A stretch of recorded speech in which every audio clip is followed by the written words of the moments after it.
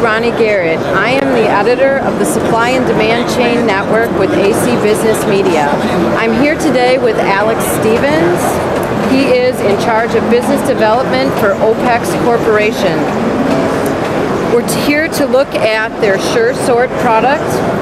They introduced it at today's show.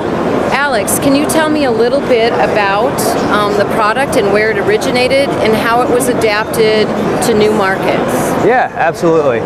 So in 2007, we released a product called Mail Matrix, uh, which was geared towards handling uh, individual pieces of mail and small parcels. Uh, and then we actually went on, a, we had a project where we scaled that up to handle 60 pounds. We created Perfect Pick, uh, which is an automated storage and retrieval system. And then we, we took on another project uh, to take that same mail matrix technology and scale it up so it could handle uh, five pounds instead of two pounds that it did before.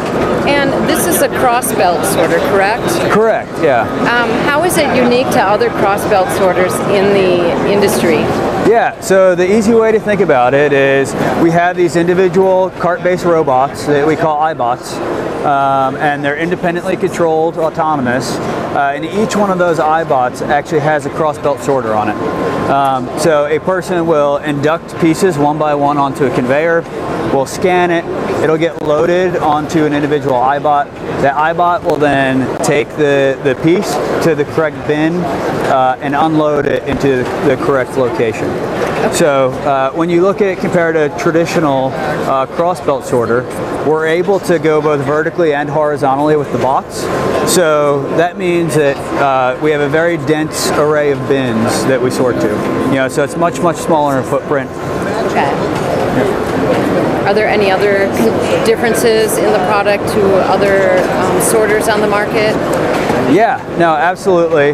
Uh, so one of the other uh, differences is, uh, you know, the range of products that we can handle, uh, you know, using our technology. Um, so we're able to handle uh, anything in the, you know, 12 by 15 by 4 inches tall. Uh, you know, we've made a lot of improvements so we can handle bottles and and items that are in bags.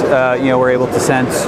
Um, so that, that's another one of the main differences between other sorters. Okay. Now tell me where this product is manufactured. Yeah, so we actually design and manufacture uh, this product out of our facilities in New Jersey. Um, which, uh, from our point of view, is very good because we're able to offer, you know, very quick turnarounds on this product, you know, in under four months, four to six months, uh, you know, from the time that we get an order to we install. Um, you know, and, and, we also at our facility we have net zero manufacturing. Um, so we have solar panels over the roofs and uh, and in the field. We actually use that, that solar power to produce all the energy that our plant uses.